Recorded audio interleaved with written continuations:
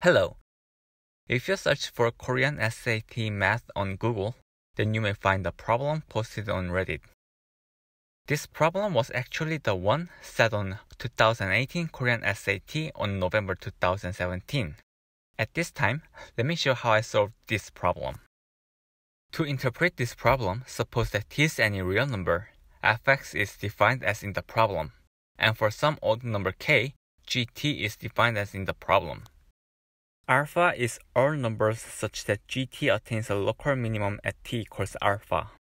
And alpha 1 to alpha m are all possible alphas listed from least to greatest, where m is a positive integer.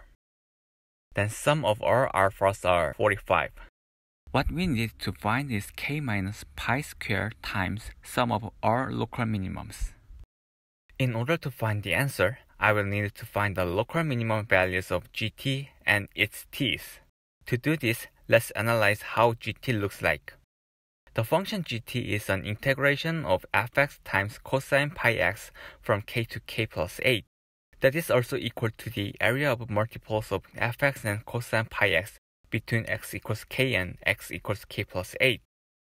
fx will graphically look like the green one above. It is a continuous function which slope is 1 between t minus 1 and t, and negative 1 between t and t plus 1. It will also move left and right based on the value of t. Cosine pi x is as pictured below a graph of fx. Its period is 2, it has a local minimum whereof x is odd, and has a local maximum whereof x is even. So cosine pi x must look like the below between k and k plus 8 since k is odd number as given in the problem. Again, gt could be told as the area of multiples of fx and cosine pi x between x equals k and x equals k plus 8. Then where can gt have local maximum and local minimum? By thinking intuitively, we can understand that gt has local maximum where t of fx meets the local maximum of cosine pi x like the picture above. Just look at the cosine pi x on the interval k, k plus 2.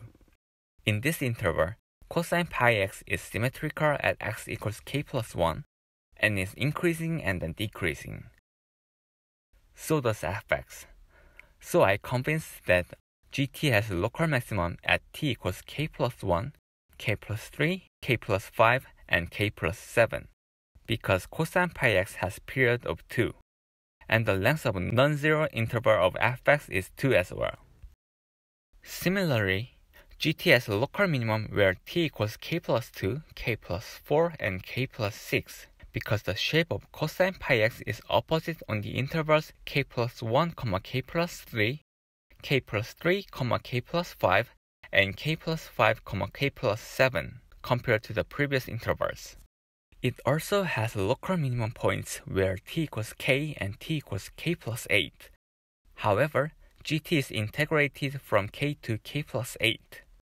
So gk is integrated from k to k plus 1, and gk plus 8 is integrated from k plus 7 to k plus 8, while gk plus 2 is integrated from k plus 1 to k plus 3. So gk and gk plus 8 are half of the other local minimum values.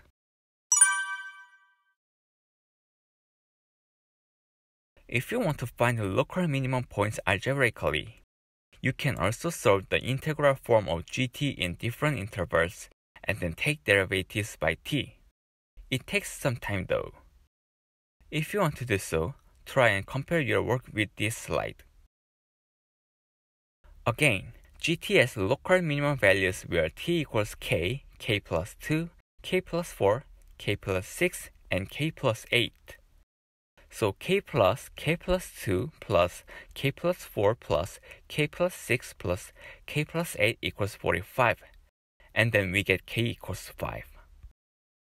Then what we need to answer to this problem is the above. I believe that you can find the answer on your own if you can solve GT. This is the way I solved. G5 is equal to the integral of the multiple of these two graphs below. It is also equal to half of negative G6, because the red graph cosine pi x is shaped opposite against the left parts. and it is also equal to the integration part from x equals 0 to x equals 1 where t equals 0. In order to calculate this part, I applied DI method of integration by parts. Differentiate 1 minus x until it becomes 0, and integrate the other parts as many as 1 minus x is differentiated.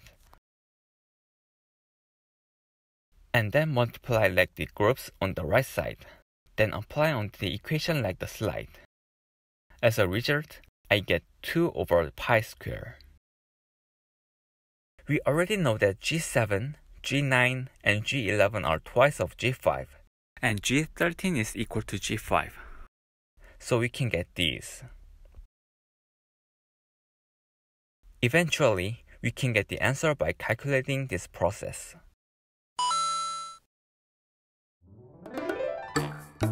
How was this video? Please hit like if you liked my video today, and subscribe if you want to study math with my videos.